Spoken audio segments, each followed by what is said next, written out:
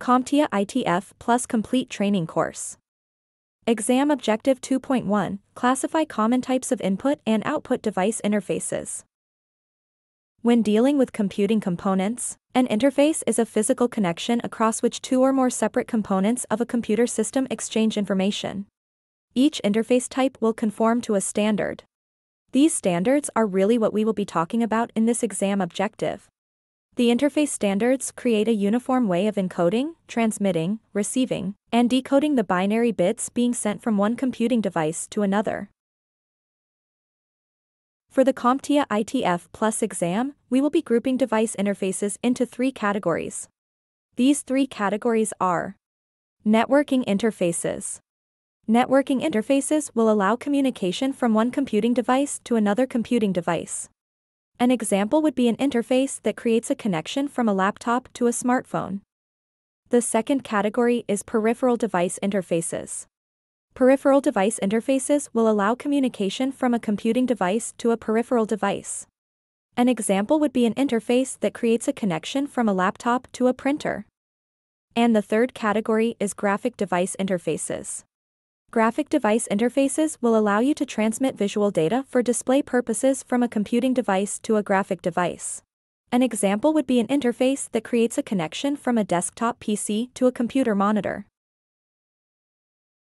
With our three categories aside, we can also classify interfaces as being either wired or wireless. Wired interfaces will require a cable to extend between two devices. These cables will terminate with a connector and these connectors will plug into a port on the device. Now let us quickly sort out the difference between connectors and ports. A connector is the side of a connection with a pin or pins. In the graphic displayed, the connectors for many common computing interface standards are lined up along the bottom. A port is the side of a connection with a hole or holes. In the graphic behind me, the ports for many common computing interface standards are lined up just above their corresponding connectors. Plug the connector into its port and we now have a physical connection with which to transmit data. For desktop computers, you may have ports on the front and back of the case, while laptops will typically have ports positioned around the edges of the case. Then there are the ports on a smartphone, tablet, television, projector, printer and so on. Quickly, you begin to see computing ports are everywhere. Thank goodness there are interface standards that keep device manufacturers all on the same page. If there is no cable, connector, or port we can see, then our interface must be wireless.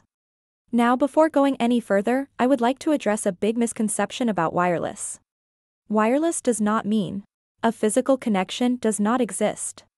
Wireless connections use radio frequencies, or RF for short, Radio frequencies are an electromagnetic signal used to connect computing devices without wires. This electromagnetic connection, even though invisible to the eye, is still a physical property that allows information to be transmitted from one computing device to another and is therefore classified as a physical interface.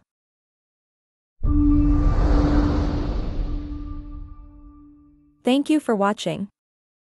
Subscribe for more great content.